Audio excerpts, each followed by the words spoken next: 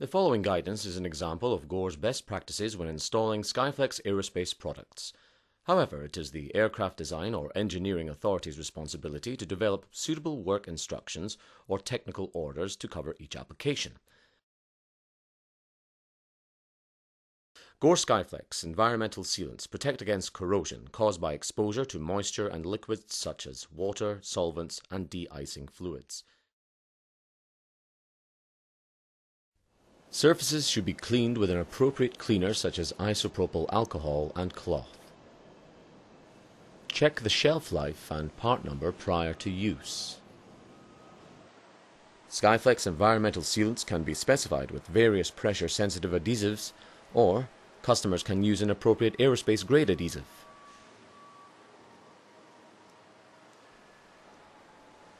If a pressure-sensitive adhesive is supplied, it is protected by a backing release liner, which should be removed during the assembly process.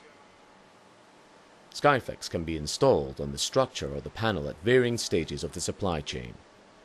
Often customers receive a panel with the Skyflex already fitted. Common to all Skyflex environmental products, the gasket should be laid flat, smooth and without stretching. Light pressure should be applied once the tape is in position. In order to ensure a continuous seal, the Skyflex should be formed around the corner.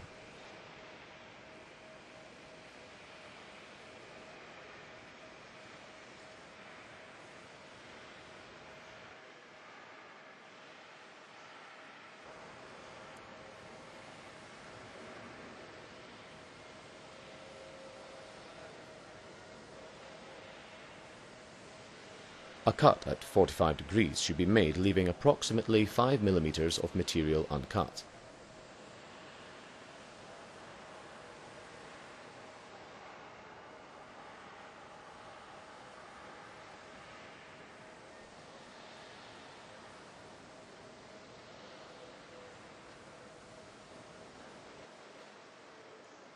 The remaining material should be laid smooth and compressed.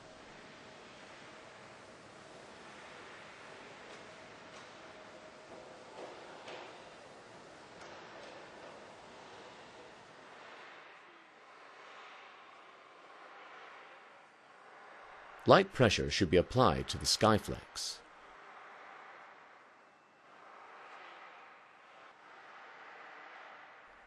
In order to seal, ensure a consistent overlap of Skyflex.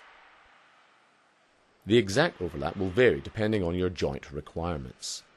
Data should be obtained from the aircraft design or technical authority.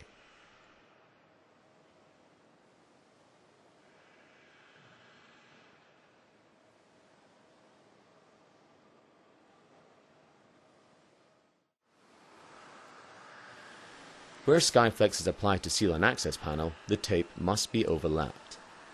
The joint should be positioned away from the fastener hole and would normally be on the trailing edge of the panel.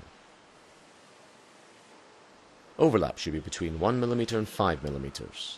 However, data should be obtained from the aircraft design or technical authority.